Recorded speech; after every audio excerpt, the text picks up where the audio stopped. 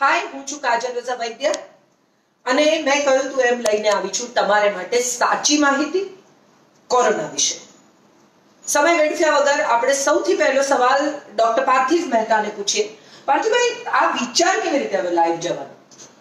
ખાસ જરૂરી એટલા માટે લાગ્યો કે હું પલ્મનરીની ફિલ્ડમાં અને ક્રિટિકલ કેરમાં છું અને ડોક્ટર અતુલભાઈ ઇન્ફેક્શન ડિઝીઝના સ્પેશિયાલિસ્ટ છે. અત્યારે ઘણી બધી માહિતી વોટ્સએપ યુનિવર્સિટીઓમાં ચાલે છે. ઘણા બધા મેસેજીસ જતા હોય છે. દરેકે દરેક એક્સપર્ટ જે સોશિયલ મીડિયા કે ઇલેક્ટ્રોનિક મીડિયા ઉપર આવે છે, પોતાની રીતે માહિતી આપતા હોય છે. ઘણી બધી સાયન્ટિફિક માહિતી અંગ્રેજીમાં છે, પણ ગુજરાતીમાં નથી. જે આપણે સમજી શકીએ, એ ભાષામાં આપણે ખૂબ લોકોને પહોંચી શકીએ. અને મેડિકલ પ્રેક્ટિશનર અને મેડિકલ સાયન્ટિસ્ટ તરીકે અમારી એ તો રિસ્પોન્સિબિલિટી ગણાય. કે અત્યારે આ જે વોર ફ્રન્ટ સિચ્યુએશન છે એમાં અમારા જેવા વોરિયર નહીં આવે તો કોણ કામ કરવાનું? વેરી નાઇસ અતુલભાઈ મારે તમને સૌથી પહેલું પૂછવું છે કે તમે ચેપી રોગોના નિષ્ણાત છો. આ કેટલો ચેપી છે અને કેટલો ભયજનક છે? આ આપણે ઇન્ફ્લુએન્ઝા સાથે જો આને સરખામણી કરીએ આ વાયરસની તો ઇન્ફ્લુએન્ઝા કરતા ઇન્ફ્લુએન્ઝા એટલે ફ્લૂ ફ્લૂ આપણે જે સ્વાઇન ફ્લૂ કહીએ રાઈટ તો એ સ્વાઇન ફ્લૂ કરતા થોડો વધારે ચેપી છે.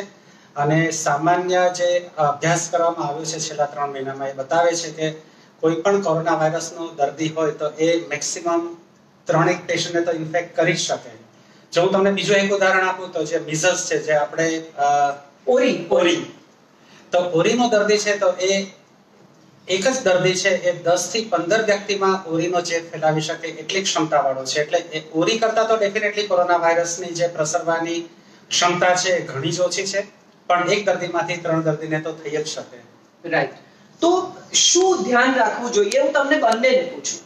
કોરોના વાયરસ જો હું બહાર લેવા નહીં જાઉં તો મારામાં મારા ઘરમાં નહીં આવે. સૌથી પહેલું મારે એને ઇન્વાઇટ કરવા જવાનું નથી. હું એને મારામાં આવવા ન દઉં. એનો મતલબ કે કેવી રીતે આવે છે આપણે બધાને ખબર જ છે. કોઈને સંસર્ગથી ટચ કરવાથી આવે કોઈને શરદી ખાંસી છીકો આવે તો એના ડ્રોપલેટ્સમાંથી આવે. એટલે એવા કોઈ પણ સંભવિત સોર્સ ખૂબ બધા બધાને હવે તો અહીંયા એક એક તમને બંનેને હું અટકાવીશ કે દરેક શરદી ખાંસીથી ડરવા જેવું ખરું? ના. આ આ સિઝન જ શરદી ખાંસીની છે જે આપણે વિન્ટરની સિઝન કહીએ છીએ. શિયાળો કહીએ શિયાળામાંથી પછી આપણે ઉનાળામાં અત્યારે પરિવર્તિત થઈ છે એટલે આપણને બે ઋતુઓનો અનુભવ થાય કે રાત્રે થોડી ઠંડી પણ લાગે અને દિવસ દરમિયાન ગરમી પણ લાગે. અને આ સિઝનની અંદર આપણને સામાન્ય શરદી ખાંસી થવી એ ખૂબ જ કોમન વસ્તુ છે. રાઈટ પણ જે કોરોના વાયરસ છે, એ અત્યારે આ સિઝનમાં આપણી પાસે આવ્યો છે, એટલે આપણે ઘણી વખત એવું બની શકે કે આપણે એને ડિફરન્શિએટ ન કરી શકીએ. પણ એક આપણે રાહત એવી રીતે લઈ શકીએ, જો આપણે પાર્થિભાઈ કીધું કે આપણે કોઈના સંસર્ગમાં નથી આવ્યા, કે જે વ્યક્તિએ ટ્રાવેલ કર્યું છે, વિદેશથી ભારત દેશમાં આવ્યો છે, અને આપણે એના સંસર્ગમાં નથી આવ્યા, અથવા તો એવા વ્યક્તિના સંસર્ગમાં આવેલી વ્યક્તિના પણ આપણે સંસર્ગમાં નથી આવ્યા, કેમ કે આ ઝડપથી ફેલાશે, કોઈ પણ વ્યક્તિને ઇન્ફેક્શન હશે તો. અને જો આપણને શરદી ખાંસી થાય તો આપણે એવું કહી શકાય કે આપણે અત્યારે ડરવાની જરૂર નથી. પણ જો આવા વ્યક્તિને ખૂબ જ ભારે તાવ ચાલુ થાય, કે તાવ એ ખૂબ જ અગત્યનું અને ડિફરન્શિએટિંગ લક્ષણ છે એવું અત્યારે માની શકાય એવું છે. કે કોરોના વાયરસના મોટા ભાગના દર્દીને એસી ટકાથી વધારે દર્દીઓનું જે પ્રેઝન્ટિંગ ફીચર્સ કે જે આપણે કહીએ કે જે ડોક્ટર પાસે જવાનું કારણ છે એ તાવ છે. એટલે જો તમને રનિંગ નોઝ એટલે નાકમાંથી પાણી પડતું હોય ને એ બધું થતું હોય સામાન્ય, તો બિલકુલ ચિંતા કરવાની જરૂર નથી. પણ જો તમને એની સાથે ભારે તાવ ચાલુ થાય તો એલર્ટ થઈ જવું પડે અને સરકારી સંસ્થાનો કોન્ટેક્ટ કરી અને એનું જરૂર પડે તેનું ટેસ્ટ પણ કરવું પડે. અતુલભાઈ એક હું એડ કરું. કારણ કે હવે આપણે કોમ્યુનિટી લેવલ ઉપર આવી ગયા છીએ.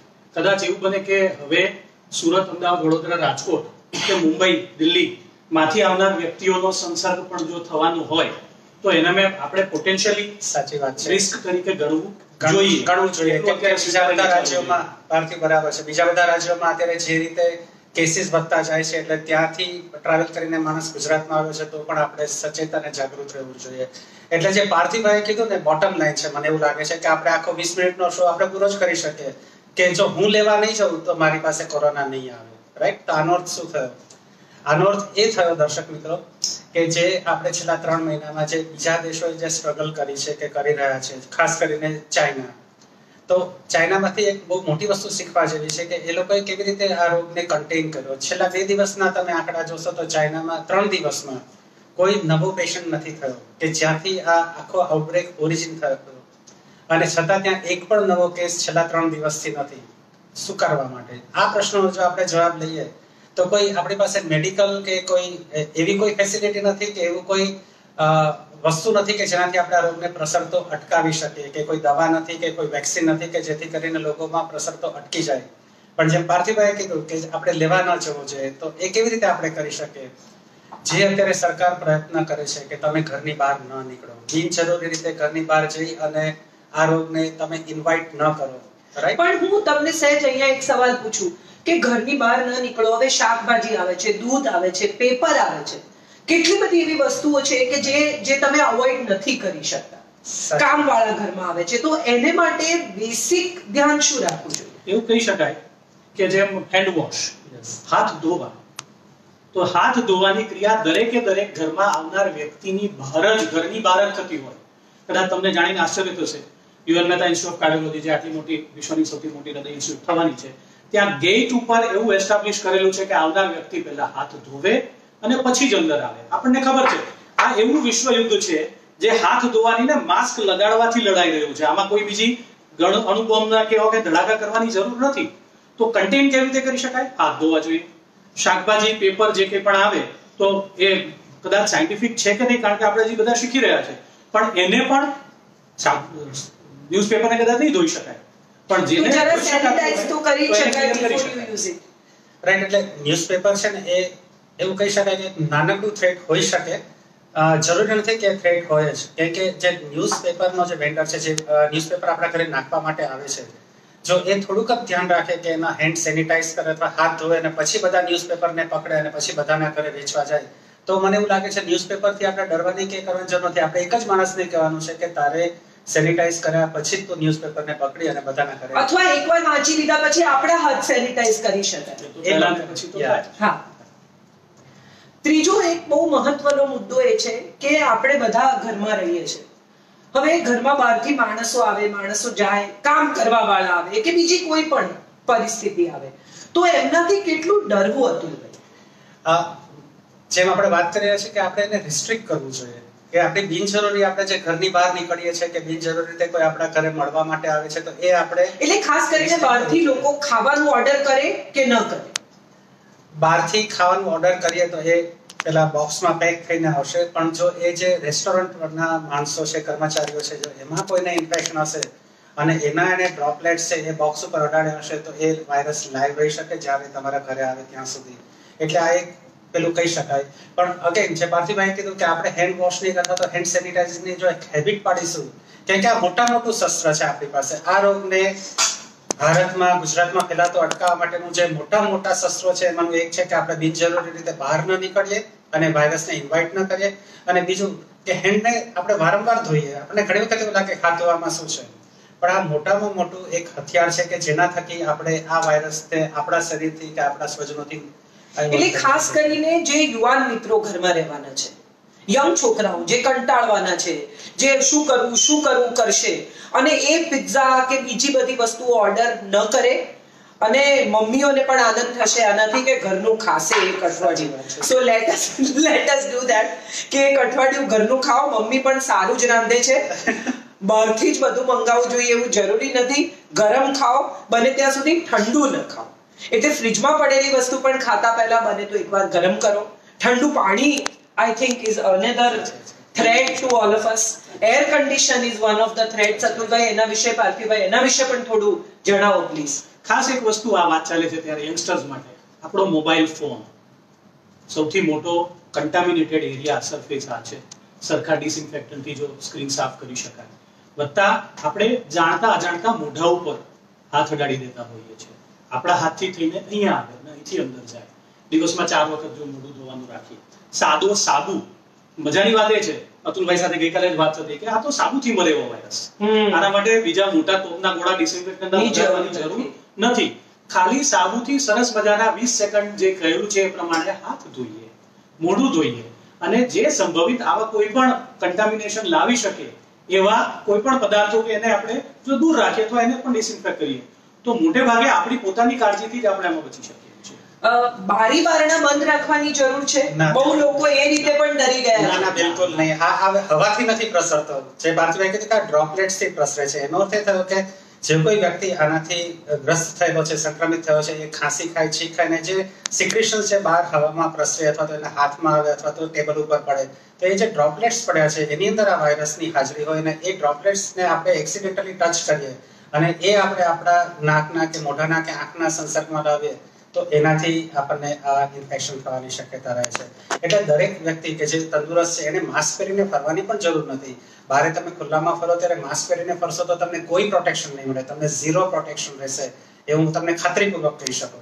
પણ જે વ્યક્તિને શરદી ખાંસી થઈ છે, છીકાછીકી કરે છે, તો એ વ્યક્તિએ સાદો માસ્ક જરૂરથી પહેરવો જોઈએ. એટલે સમજ્યા તમે? સ્કૂટર પર માસ્ક પહેરવાથી કંઈ નહીં થાય.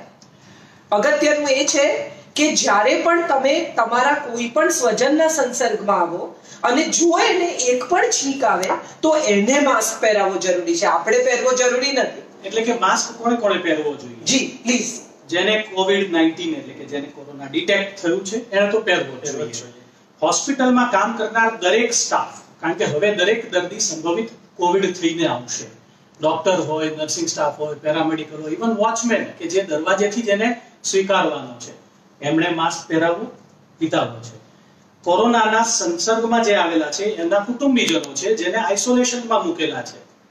એવા દર્દીઓ, અને ખાસ કરીને વયસ્ક, જેમની ઉંમર વધારે છે, અને જે નાના બાળકો એમને પ્રોટેક્ટ કરવા માટે એવા કોન્ટેક્ટને માસ્ક પહેરાવવા. પણ હમણાં જે અતુલભાઈએ કહ્યું કે અમેરિકામાં હવે પેટર્ન બદલાઈ છે. તો એ વિશે પણ અતુલભાઈ વાત થવી જોઈએ.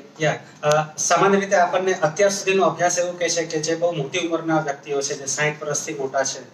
તો એ લોકોને આ રોગથી જે ભયાનક બીમારી કે જે કોમ્પ્લિકેશન્સ અને ડેથ એ થવાની શક્યતા રહેલી છે. પણ અત્યારે જે છેલ્લા ત્રણેક દિવસથી જે ન્યુયોર્ક સિટીમાં જે એડમિશન્સ થયા છે હોસ્પિટલ્સની અંદર એની અંદર યંગસ્ટરનું એડમિશનનું પ્રમાણ વધતું જાય છે અને એમાં કોમ્પ્લિકેશન્સ વધતા જાય છે. આ એક ચિંતાજનક વસ્તુ છે. એ બતાવે છે કે આ રોગની જે એપિડેમિયોલોજી છે, જે એની જે પેટર્ન છે, એ થોડી ચેન્જ થઈ રહી છે. એટલે જે અત્યાર સુધી એવું કહેવાતું હતું કે માત્ર મોટી ઉંમરના વ્યક્તિઓએ સાવધાની રાખવાની જરૂર છે. એવું નથી લાગતું. મને એવું લાગે છે દરેક નાગરિકે પૂરતી કાળજી લેવી જોઈએ જેથી કરીને એનામાં આવું વાયરસનું સંક્રમણ ન થાય. બીજી એક બહુ મહત્વની વાત લોકો કઈ જાત જાતની દવાઓ હળદર ખાઓ ને તુલસી પીઓ ને હાઇડ્રોક્સીક્લોરોક્વિન ને ક્લોરોક્વિન આ ખૂબ જ અત્યારે ચાલી રહ્યું છે. છેલ્લા બે દિવસ અમે એટલા બધા મેસેજ ને એટલા બધા ફોન કોલ ના જવાબ આપ્યા છે કે હું ક્લોરોક્વિન લઉં તો મને પ્રોફાઇલેક્સિસ એટલે પ્રિવેન્ટ કરવા માટે વાપરી શકાય કે નહીં. પણ દર્શક મિત્રો આવી કોઈ દવાનો બિલકુલ ઉપયોગ ના કરતા કેમ કે આવી કોઈ દવાનું કોઈ ટેસ્ટિંગ કે કોઈ આપણી પાસે પરિ- પરિણામ નથી. અને તમે જો આ બિનજરૂરી રીતે આ સેવન કર્યા કરશો તો તમને સારી એવી સાઇડ ઇફેક્ટ્સ થશે. પાર્થિવભાઈ સાથે અમે એ ચર્ચા કરતા હતા કેમ કે ક્લોરોપિન છે ભલે નો ડાઉટ સરસ દવા છે ને આપણે મેલેરિયામાં બહુ વર્ષોથી વાપરીએ છે પણ એનાથી તમારા ક્યુટી પ્રોલોંગેશન એટલે હાર્ટની અંદરથી માંડીને આંખમાં એકોમોડેશન પેટની અંદર સોજો ઘણા બધા સાઇડ ઇફેક્ટ્સ ઘણી બધી તકલીફો થઈ શકે. ઇવન જેને જી સિક્સ પીડી હોય. એક ખાસ કરીને એક એવી શારીરિક રચનાના ફેરફાર આપણે અહીંયા જે ઠક્કર કે લુવાણા કહેવાય એ લોકોમાં ખૂબ વધારે જોવા મળે છે એમને જો જરૂરત વગર ક્લોરોક્વિન અપાય અથવા જરૂર હોય ને પણ અપાઈ ગઈ હોય વધારે હોય તો લોહી તૂટવાનું. ચાલુ થઈ જાય એટલે એવું નથી કે લઈ લઈએ અને બીજું કહેવાય છે કે નવરો બેઠો નખો દવા એટલે જો દવાને કામ નથી, તો આપણને ક્યાંક ને ક્યાંક નુકસાન તો કરવાનું છે.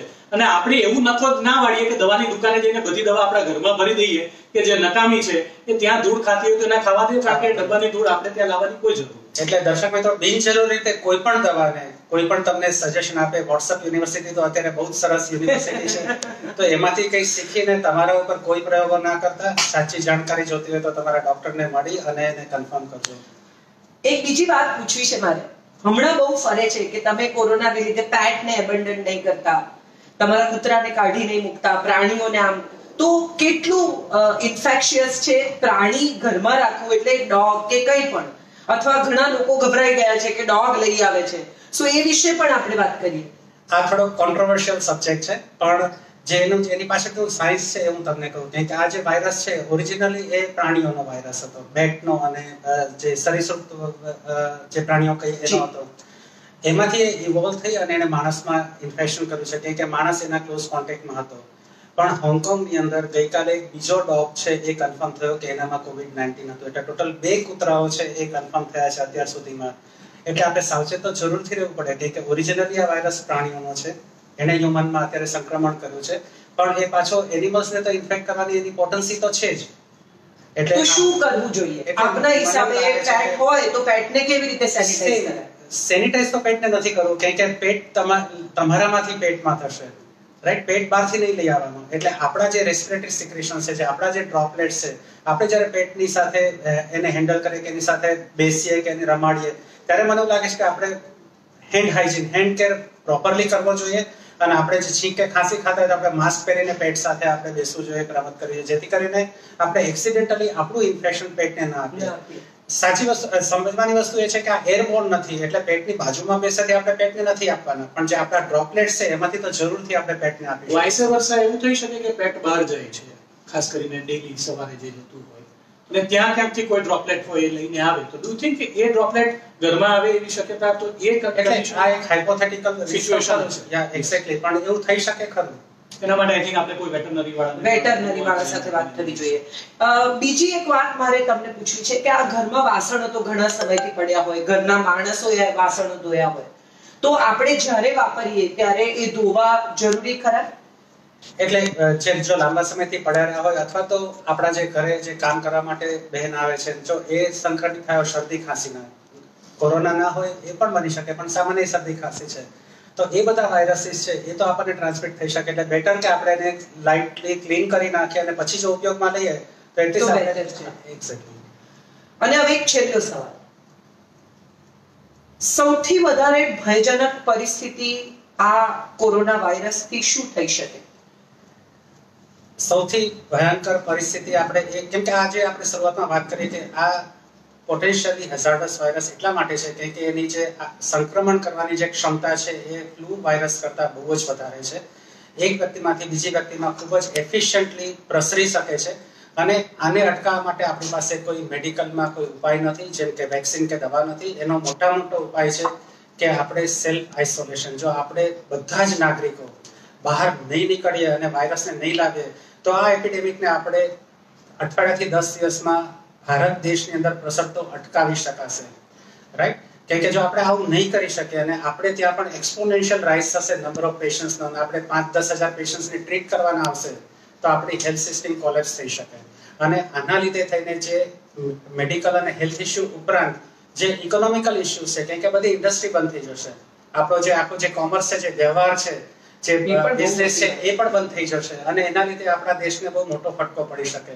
એટલે અત્યારે આપણે એક જ વસ્તુ કરવાની જરૂર છે કે આપણે બિનજરૂરી રીતે બહાર ન જઈએ બિનજરૂરી રીતે આ વાયરસને ફેલાવવામાં મદદ ન કરીએ કેમ કે આ એક જ અસરકારક ઇન્ટરવેન્શન છે મેડિકલ ઇન્ટરવેન્શન છે કે જેનાથી આપણે કોરોના વાયરસને આગળ વધતો અટકાવી શકાશે.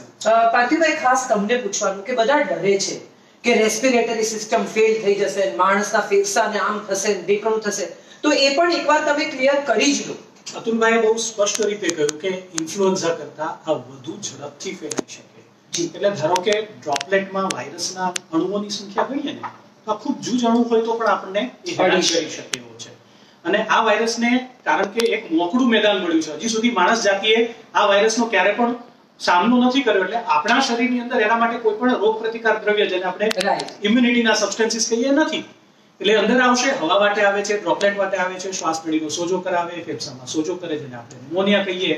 અને આપણું આ વાઇટલ અંગ જે ઓક્સિજન લેવાનું કાર્બન ડાયોક્સાઇડ કાઢવાનું કામ કરે છે એ જો શટડાઉન થવા માંડે તો એને કારણે થઈને રેસ્પિરેટરી ઇમરજન્સીસ ખૂબ થાય. કદાચ તમને ખ્યાલ હશે અત્યારે ઇટાલીમાં સિચ્યુએશન એવી છે even to a certain extent અમેરિકામાં પણ એવી સિચ્યુએશન આવી છે કે વેન્ટિલેટર્સ નથી. મારો પગ ભાંગે છે તો હું પ્લાસ્ટર મારું છું. ફેફસા ભાંગે છે તો મારે વેન્ટિલેટર જોઈશે તો આપણી આગળ સંભવિત વેન્ટિલેટરની સંખ્યા માટે સરકાર તન તોડ પ્રયત્ન કરી રહી છે. કદાચ આપણે એવું ગર્વ લેવો જોઈએ કે આપણા જે સરકારને જે વોરિયર્સ ગણીએ એટલે કે સરકારી ઉચ્ચ અધિકારીઓ બધા જ ડિસિઝન મેકર્સ અને જે મેડિકલ વોરિયર્સ મેડિકલ એટલે કે ડોક્ટરો પેરામેડિક્સ અત્યારે ચોવીસ કલાક twenty four by seven nearly stand to સિચ્યુએશનમાં કામ વન્ડરફુલ રહ્યા છે એટલે એ સંજોગોમાં એમની આપણે જરૂર ઓછી પડે. એનું કામ આપણે વધારીએ નહીં. એટલું જો કરીએ ને તો I think we can help the community the country And ourselves. Exactly. તો મિત્રો આજે અમે તમારા સુધી પહોંચાડી સાચી માહિતી. કોઈ પણ પ્રકારની વોટ્સએપ યુનિવર્સિટી પર ભરોસો નહીં કરતા. તમારી પાસે આવેલા મેસેજીસ ફોરવર્ડ નહીં કરતા. અનલેસ કે તમે એને ચેક કરો.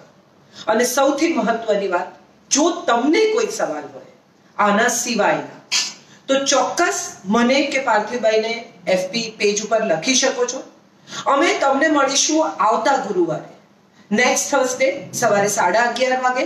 અને તમે મોકલેલા સવાલોના જવાબો આપશે આ બંને આપણા ડોક્ટર્સ અતુલભાઈ અને પાર્થિવભાઈ. તો આઈ એમ શ્યોર તમને સાચી માહિતી મળી હશે. આઈ એમ શ્યોર તમે ડરને બદલે થોડા વધુ સાવધ થવાનો પ્રયત્ન કરશો. આઈ એમ શ્યોર તમે સોશિયલ મીડિયાનો ઉપયોગ ટાળશો. આઈ એમ શ્યોર બહારથી ખાવાનું ઓછું મંગાવશો. આઈ એમ શ્યોર બધું સેનિટાઈઝ કરીને વાપરવાનો પ્રયત્ન કરશો. થેન્ક યુ સો મચ અને ઘરે રહો અને સેફ રહો. અત્યારે અનનેસેસરી મોમેન્ટ્સ ના કરો. Thank you so much